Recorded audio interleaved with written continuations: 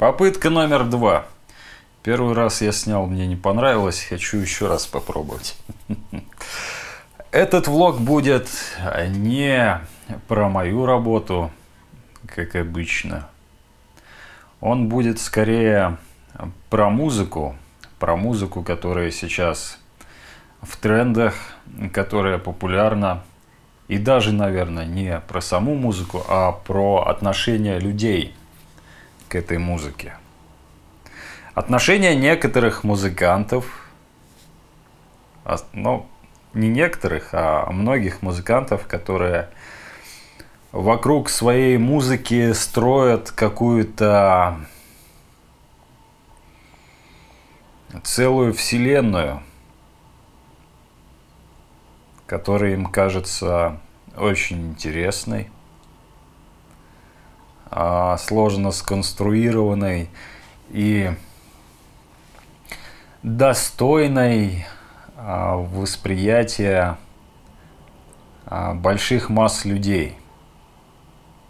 Особенно это касается рок-музыки, а, какой-то сложной тяжелой. Вот, когда они выстраивают какую-то вот эту свою музыкальную вселенную, начинают про нее рассказывать одухотворенно. И не получают тот, тот отклик, э, который им хотелось бы, не получают такой отклик, а, как а, какая-нибудь Ольга Бузова или Моргенштерн,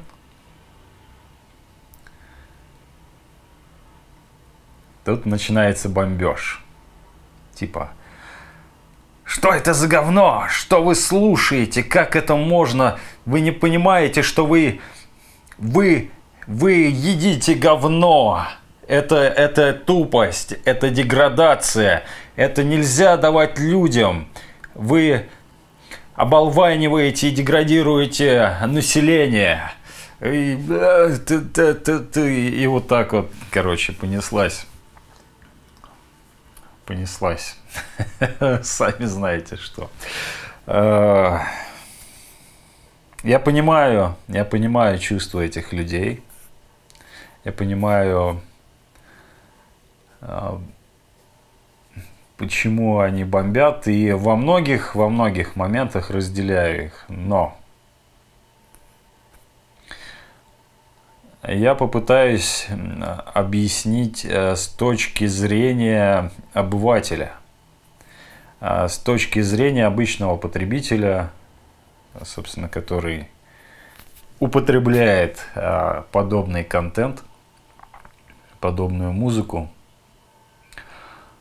А, представим себе человека, который э, где-то очень сильно трудится, а, например, инженер, который строит какие-то сложные приборы,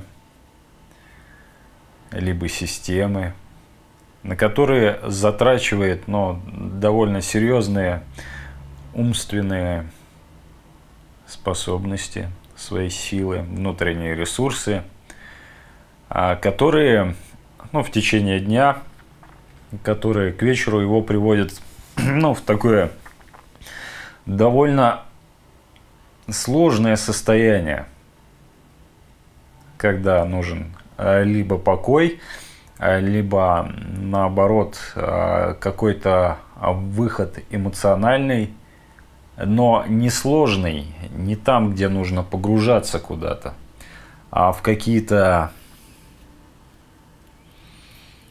примитивные эмоции и именно деградация, чтобы разгрузить мозг. И для этого как раз существует подобная музыка. Существует Ольга Бузова. Существует вот этот э, так называемый рэп новой волны, э, который, по моему мнению, отвратительный, но как бы если есть запрос в обществе, э, значит музыка такая должна присутствовать. И в этом ничего плохого нет. Не нужно говорить, что люди тупые, люди начинают оболваниваться. Вот. Что типа нужно пускать в ротацию какую-то музыку, какую-то рок-музыку, как говорит Лео с Hellscream Academy.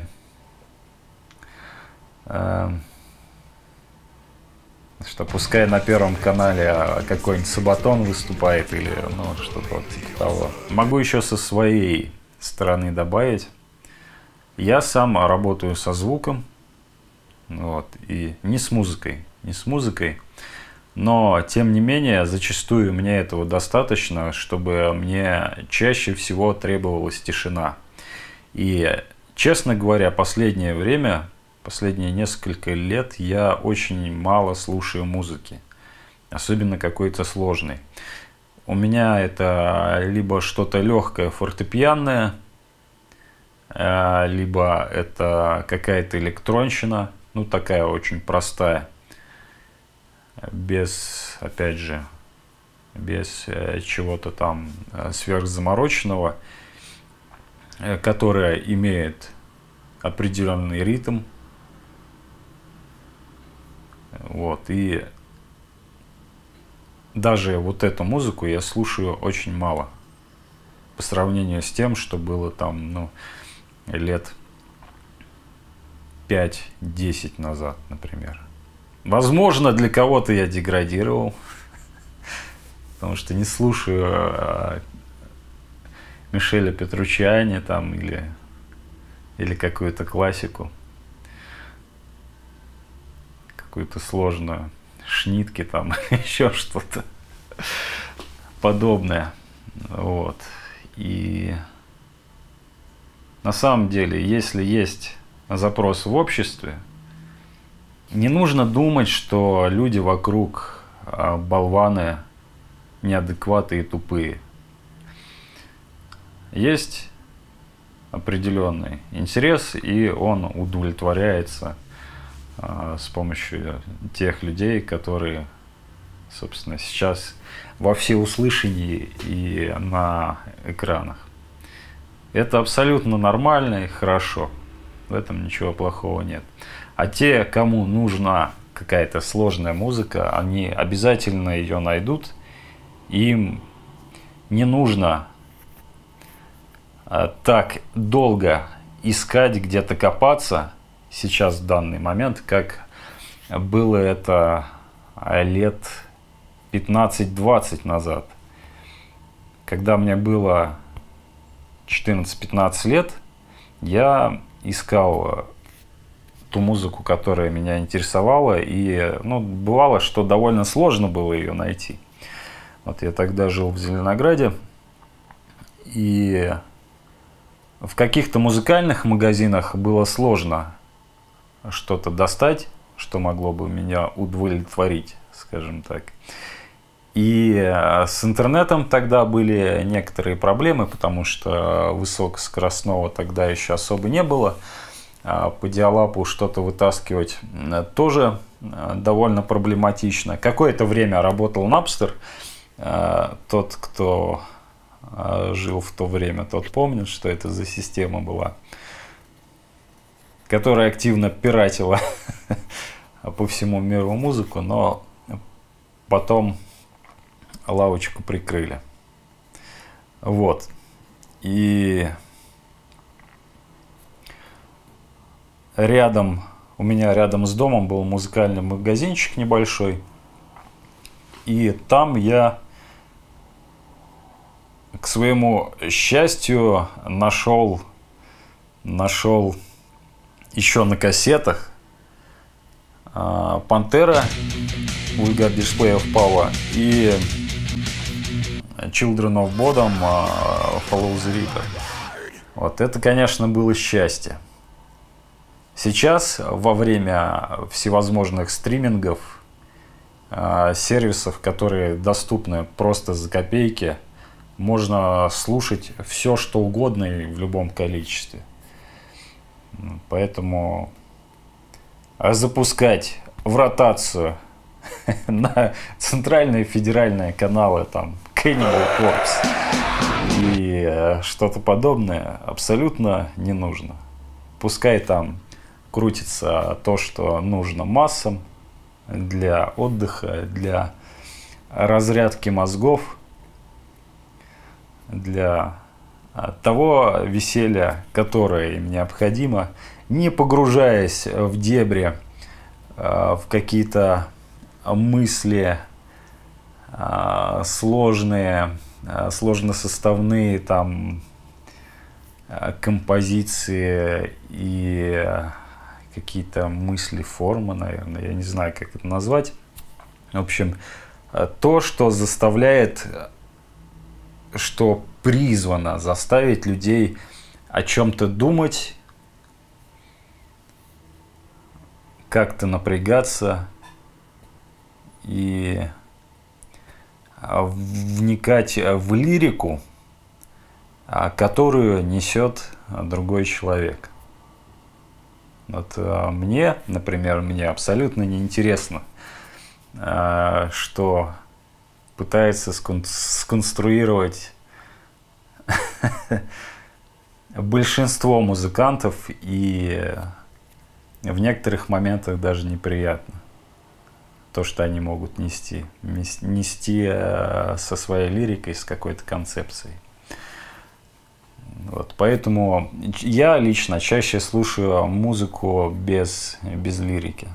То есть в основном это инструментал. А что касается всякой попсы, ну, как правило, люди, ну, просто послушали, забыли, там, чуть, грубо говоря, отвлеклись от всего.